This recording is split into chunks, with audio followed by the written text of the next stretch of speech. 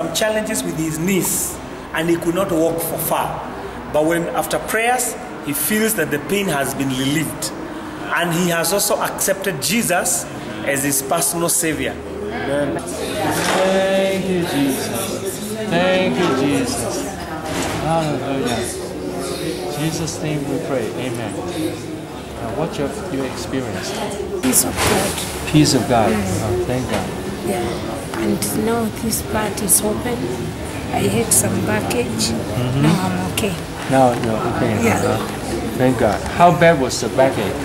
Uh, it was it was so bad. I went to the hospital. You have to go to the hospital. When did you go to the hospital?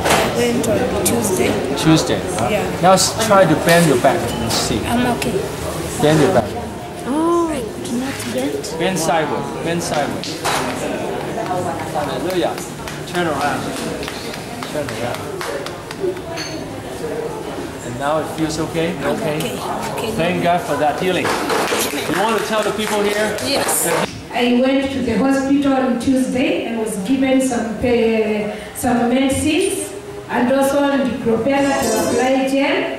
But now I'm healed in Jesus' name. Amen. Amen. And she can twist her back. Now Yeah, so. I'm okay. I can dance. I can jump. I'm okay. Amen.